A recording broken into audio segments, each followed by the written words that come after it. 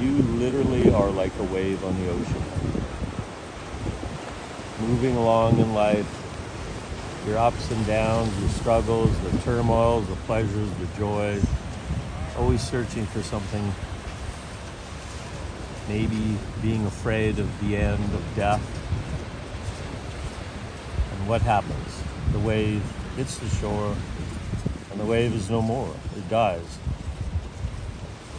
But the fascinating thing that's available to all of us is that we're never separate from the ocean.